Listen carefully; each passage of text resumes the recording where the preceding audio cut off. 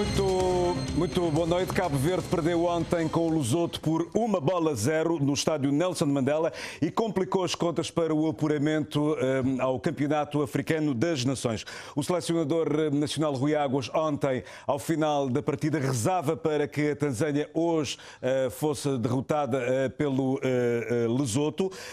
aconteceu, o Lesoto venceu a Tanzânia por uma bola zero e abriu grandes esperanças para Cabo Verde. Kimpade with the touch. Space for a goal! Este é o golo que colocou o Uganda na Copa Africana das Nações. Cruzamento pelo lado esquerdo, Patrick Cadu a saltar entre os defesas e a cabecear para o fundo das redes. Aos 79 minutos estava feito o 1 a 0 para o Uganda num Mandela Stadium ensurdecedor e completamente cheio. Com este golo as contas de apuramento ficavam complicadas para Cabo Verde. O Uganda começou bem cedo a pressionar a nossa seleção, tendo mais posse de bola. Cabo Verde conseguiu aguentar o jogo e teve vários momentos de perigo, como neste lance que começa em Giannini e Nuno Rocha não conseguir concretizar. Há também este outro lance, falha da defesa ugandesa e Cabo Verde a não conseguir marcar. Depois veio o tal gol de Patrick Cadu a carimbar o passaporte do Uganda para o Campeonato Africano das Nações, 40 anos depois. Estivemos durante muito tempo a construir uma equipa com os mais novos que entraram, com os mais velhos como eu. E este é o meu último jogo, o jogo da qualificação.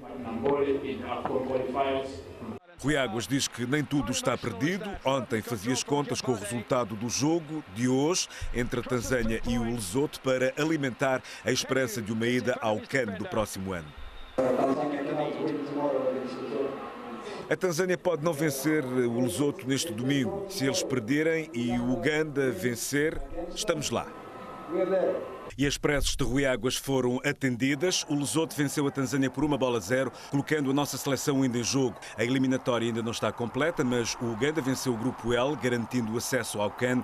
Lesoto e a Tanzânia estão em segundo e terceiro lugares, respectivamente. Cabo Verde é último com quatro pontos. Para se qualificar, Cabo Verde tem então de esperar que a Tanzânia não vença nenhum dos jogos que lhe restam e vencer o Lesoto no seu último jogo em casa.